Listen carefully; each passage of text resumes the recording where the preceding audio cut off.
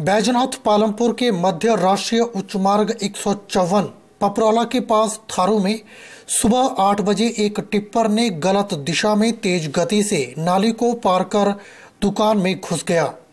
अपनी दुकान के बाहर स्कूटी पे खड़े 31 वर्षीय लकी को रौंद कर कुचल दिया और मौके पर उसकी मौत हो गई। मृतक की एक वर्ष की लड़की है। मृतक चाय व टायर ठीक करने का काम करता था।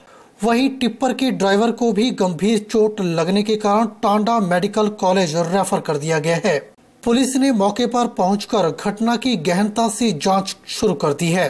वहीं मृतक के घर में मातम का माहौल है। के चैनल के लिए बैजनाथ से कमल गुप्ता की रिपोर्ट।